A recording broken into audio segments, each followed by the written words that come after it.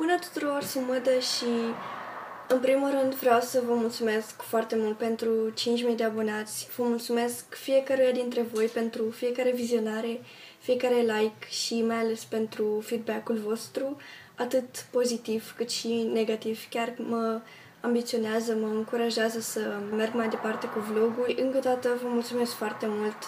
Astăzi m-am gândit să fac un video ceva mai special, să spunem. O să citesc comentariile la videourile mele vechi. Videouri vechi însemnând de acum 2 3 ani. Nu le-am pus pe privat pentru că m-am gândit, videourile alea au fost o parte din mine și chiar dacă sunt penibile și prostești și nu știu cum, am zis să le las acolo ca să văd diferența la cum am început sau cum am fost și cum am evoluat în timp deci, da.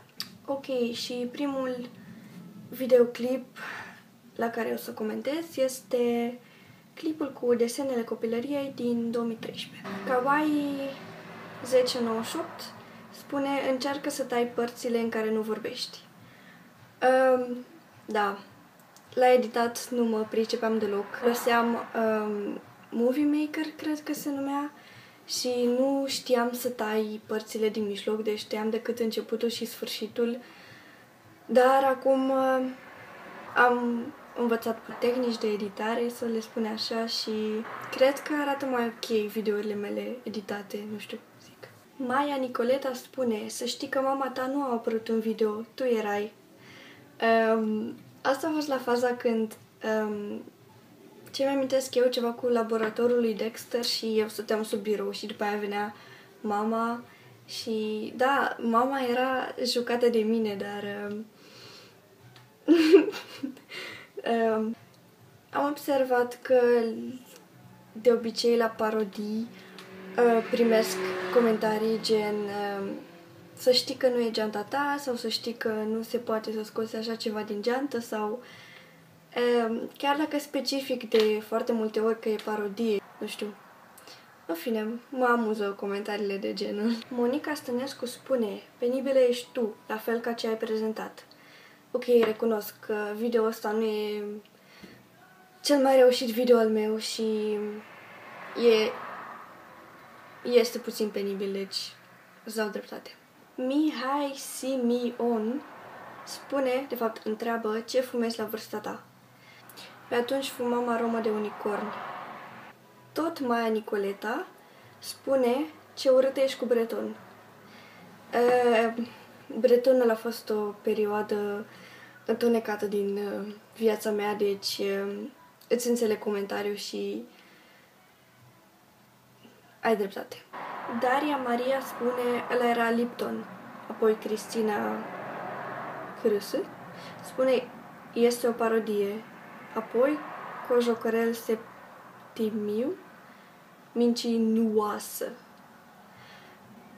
Da, am spus în video că am Nesty, dar de fapt era Lipton. Uh, asta a fost ideea să spun numele greșit. Nu știu pe cine face Cojocorel mincinoasă, poate pe mine, pentru că v-am indus în eroare cu numele sucului. Avem și ceva pozitiv. Teodora Grau spune Bă, copilaș, nu mai comentați prostește. Fata a spus că e o parodie. Normal că lucrurile care le-a selectat nu pot încăpea în gentuța aia. Normal că e o parodie. Și vă mai dau un sfat. Prima oară învățați, să, învățați cum să scrieți și apoi comentați, ok?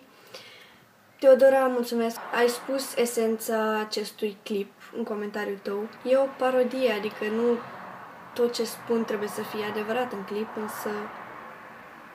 Da. Valentina Dojana spune Fă, știi că nu ați anca pe nimic în geanta, dar unele lucruri în cap. Nu am înțeles mare lucru din comentariul ăsta, însă... Ok.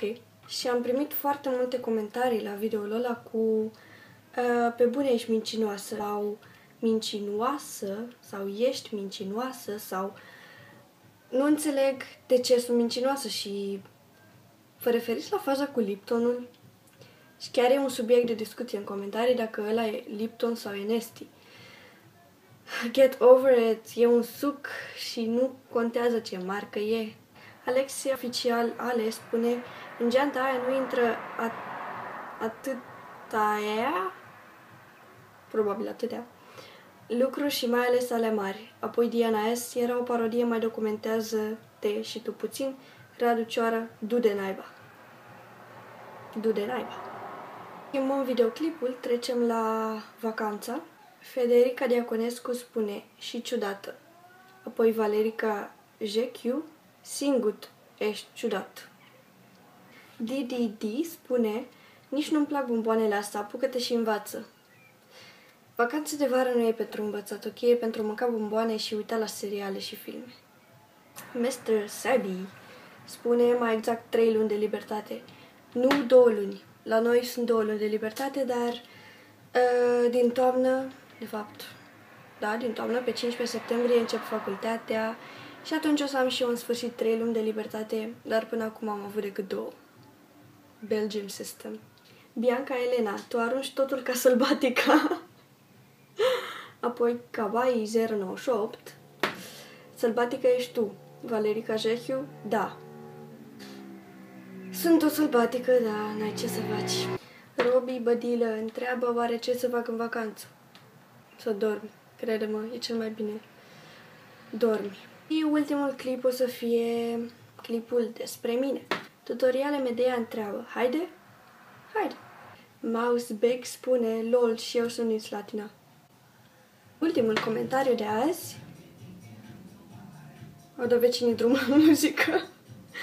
O să avem muzică de fundal. Ei. Segheled Ginger spune, tu ești mă, ai 15 ani și ești drăguț, îmi place de tine. Trăiască Partidul Comunist Român. Și cam atât și cu videoul ăsta. Scuzați-mi părul și dacă mintea însă încerc să fiu... Mi-a fost lene să mă schimb. Păi, sper că v-a plăcut acest video, că v-ați amuzat și voi puțin și ne vedem data viitoare. Pa, pa!